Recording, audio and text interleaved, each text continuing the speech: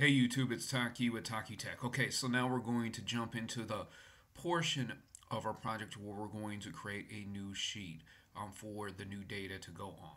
So what I'm going to do here is I'm going to actually create a new module.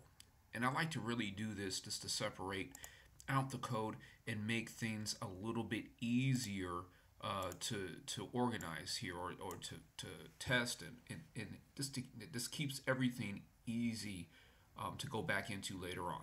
So I'm going to call this Sheets. And I do recommend that if you do write VBA on Excel, um, that you have have a module called Sheets. And basically this is just going to run all of your uh, all of your functions and, and procedures and, and um, subroutines for Sheets. All right, so um, I'm going to do my option explicit up here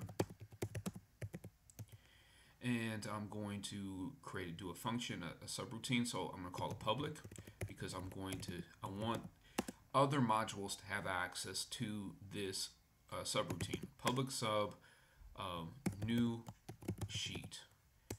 All right. Um, not passing anything in yet.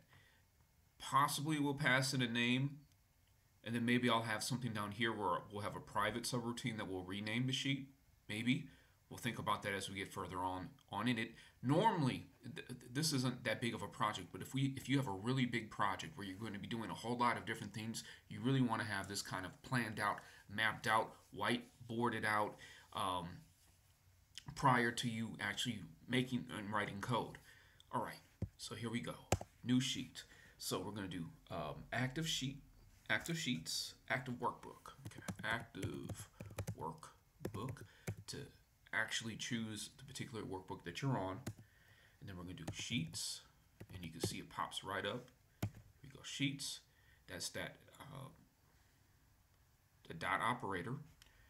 Sheets. And I hit tab to give me the sheets. Dot add.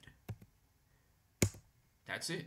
One line of code. Now normally, if it's only going to be one line of code, probably don't want to write a whole new subroutine. Now, we're probably going to do a little, something a little bit more complex with this, and it is already complex because it's already going all the way over to sheets.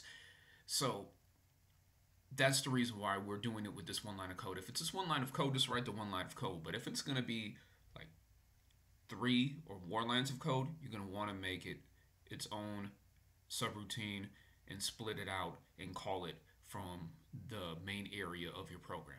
All right, let's get let's go back to get data. And we're going to call new sheet.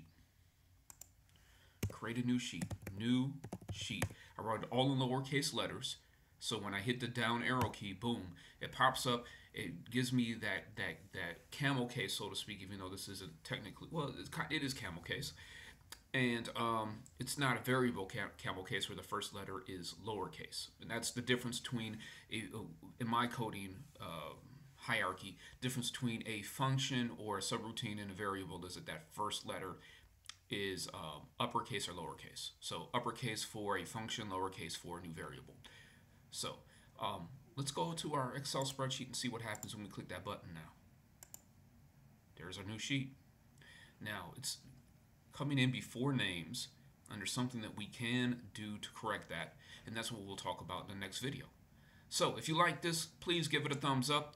Um, and if you would like to subscribe, if you like the content that you're seeing on this channel, if this is like your third or fourth video, please subscribe. Um, make sure you guys leave comments, and thank you and take it easy.